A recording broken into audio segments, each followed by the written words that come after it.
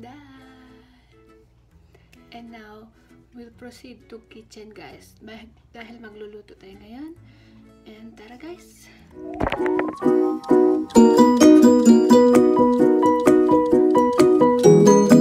Hi guys! Welcome back again to our channel.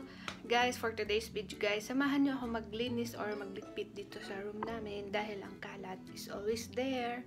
You know naman ako ang tagasunod dahil ang anak ko is nagkakalat siya lagi like sa mga toys niya dito sa kama namin. So, ang gagawin ko ngayon is magliligpit tayo guys.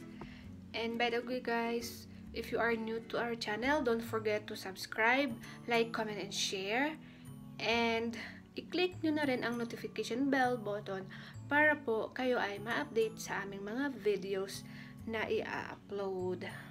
So yun guys. And after dito guys, magluluto tayo guys. Samahan nyo rin ako sa kitchen mamaya. Let's go!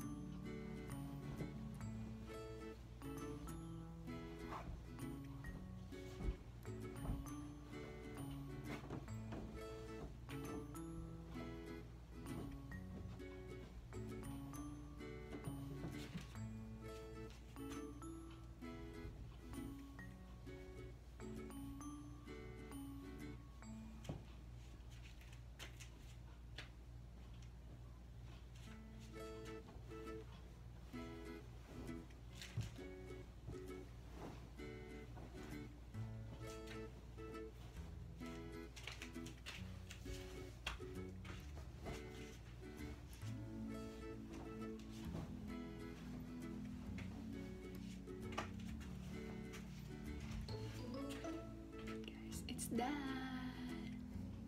And now, we'll proceed to kitchen guys. Dahil magluluto tayo ngayon. And tara guys!